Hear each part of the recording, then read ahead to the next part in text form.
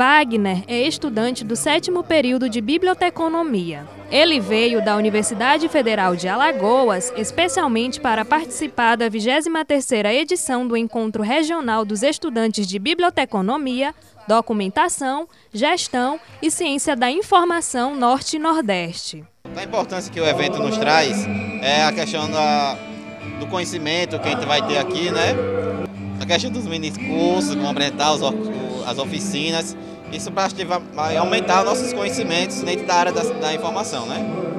Com o tema empreendedorismo, perspectivas e desafios aos profissionais da informação, o evento segue até o dia 25 de janeiro em diversos pontos da cidade universitária Dom Delgado e tem como objetivo principal motivar a discussão sobre a postura profissional ativa e independente dos futuros bibliotecários, documentalistas, gestores e demais cientistas da informação.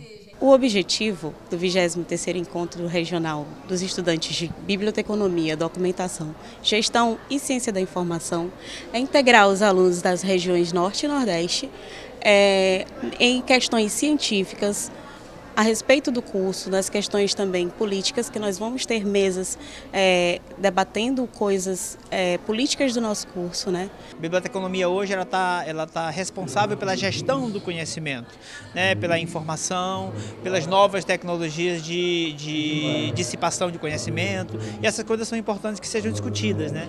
E é importante também que os alunos promovem, os alunos possam, possam reunir professores, é, pesquisadores e os próprios alunos da, das regiões do Norte e do Nordeste para discutir essas questões.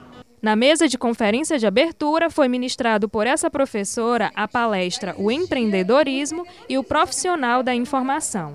Quando a gente fala em empreendedorismo, é importante a gente tirar um, é, desmistificar alguns mitos, né?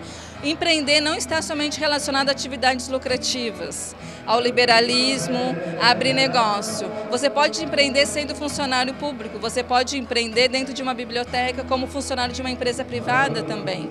Porque o empreendedorismo ele está ligado a uma mudança de comportamento.